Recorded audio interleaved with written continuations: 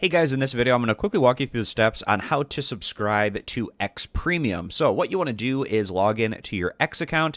And if you're on mobile, you're going to click on your little icon in the upper left-hand corner. But if you're on desktop like me, you have your options over here on the side. What you want to do is click on where it says either verified or premium. Right here, it says verified. I'm going to click on that. And then it asks, who are you? So I'm an individual, so I'm going to select that and then click subscribe.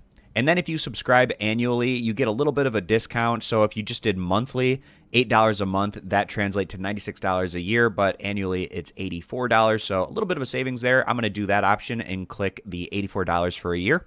And then it asks to verify my phone number. So clicking on where it says verify your phone number.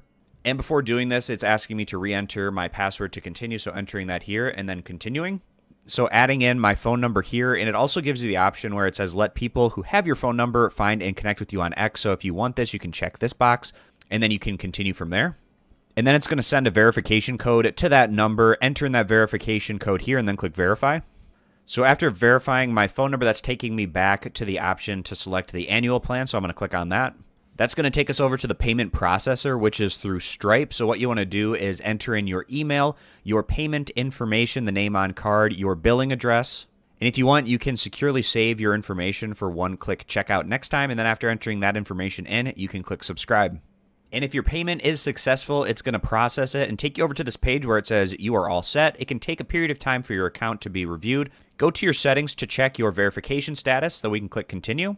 And then you can check your member benefits by clicking Let's Go. And now it shows our X Premium subscription is listed as active. So I hope this video is helpful walking you through the steps on how to subscribe to X Premium. I appreciate you guys stopping by. Consider subscribing to the YouTube, and I'll see you back here next time.